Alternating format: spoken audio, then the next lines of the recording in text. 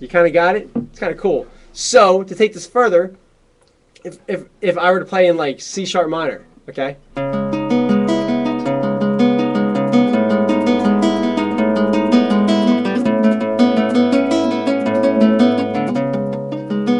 Okay, right there, that's the key of E. So E has four sharps, and so does this chord.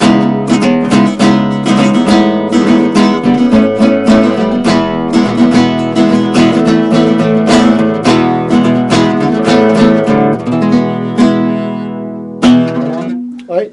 Uh, why is it important to know the circle of fifths?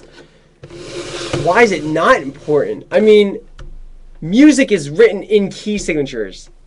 Okay? It's music is divided into 12 key signatures and the idea is that when you go to play, then you've got to know the key signature that you're playing in. You know? It's like saying like, "Walt, I want to learn how to speak English, but is it really important that I know all 26 letters of the alphabet? There's 26, right? Correct me if I'm wrong. I'm pretty sure there's 26. Um, and the reason is because um, it's just the way it's just the it's it it's the way it's built up. You know what I mean? It's just it's the language we speak when you want to learn keys and the songs that you're playing because your songs your songs are, are in keys unless they're not in keys. So yeah, okay, so 26, cool. Uh, whew. Um, so if you're in key, so you know if you're playing in a key.